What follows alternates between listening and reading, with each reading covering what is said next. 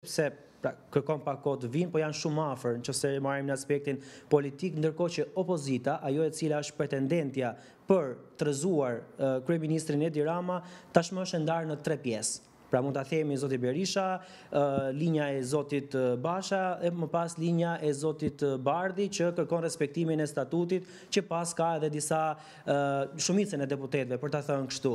Kush është përgjegjës ose shqiptarët kërkojnë nga njëra anë të luftojnë këtë ose të heqin ose të pretendojnë që gjërat lëvizin në Shqipëri ndërkohë që kryeministri Rama po shkon drejt mandatit të katërt, pra 16 vite në pushtet. Kush është fajtor zoti Bardhi? Ë, uh, së pari, ë, uh, Të kërkosh respektimin e statutit nuk do të thotë që ti ke një linjë brenda partisë dhe dua ta them këtë për të mos krijuar asnjë keqkuptim. Absolutisht debati brenda një partie politike është gjëja më normale që ndodh në një parti po themi të organizuar në mënyrë demokratike. Fundja bashkë na mbajnë zbatimi i statutit, na mbajnë rregullat. Shqetësimi që unë kam, por jo vetëm unë, secili prej kolegëve deputetë nëse lexon qëndrimin që ne kemi mbajtur mbi nevojën e riorganizimit të partisë dhe mënyrën se si do duhet bëhet riorganizimi ka qenë pikërisht kështu. Copëzimi në disa copëza, që luftojnë njëra tjetrën thjesht e vetëm forcon Edi Ramën dhe dobëson opozitën.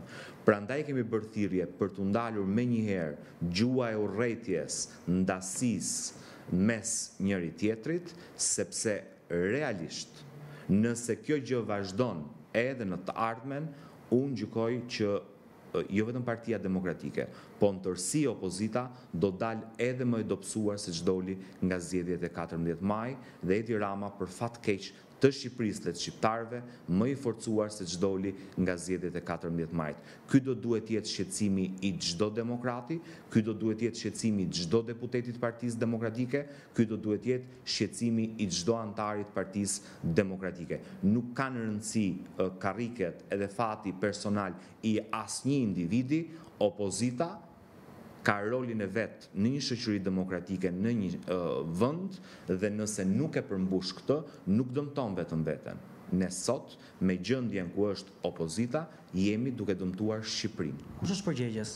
Unë nuk dua të drejtoj gishtin, po e drejtoj gishtin më së pari nga vetja, për të treguar përgjegjshmëri dhe për t'u përgjigjur pritshmërisë që ka çdo qytetar shqiptar sot nga secili prej nesh.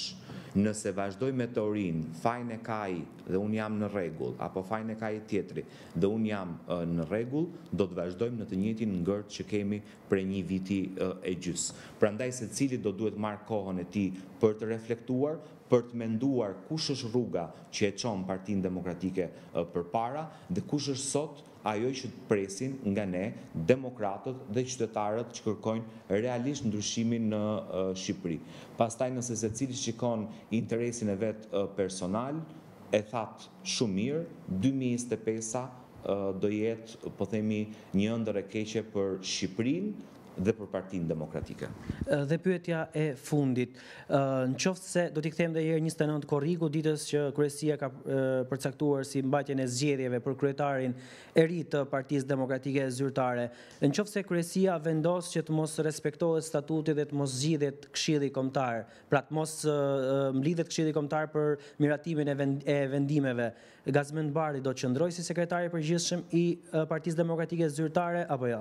Unë nuk besoj dot kurrë që kryesia e Partisë Demokratike do të anashkalojë detyrimet dhe përgjegjësitë që ka sipas statutit të Partisë Demokratike.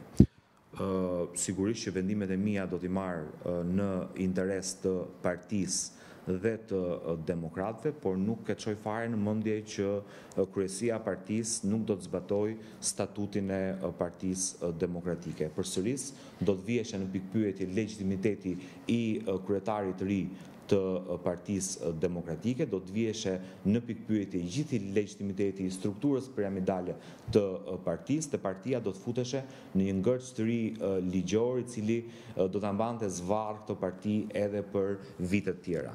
Faleminderit. Faleminderit ju.